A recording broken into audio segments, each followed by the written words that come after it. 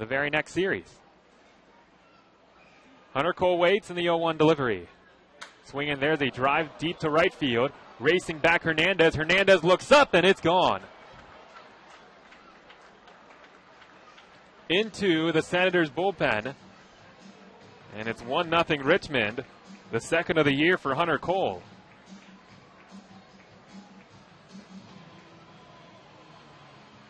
So Cole gets the Squirrels on the board. It's one to nothing on their second hit of the ball game, and this year at least Cole's not a guy that's been hitting for power. I mentioned that's just his second home run. He's just slugging 364, and generally your slugging percentage, most players want that to be at least over 400.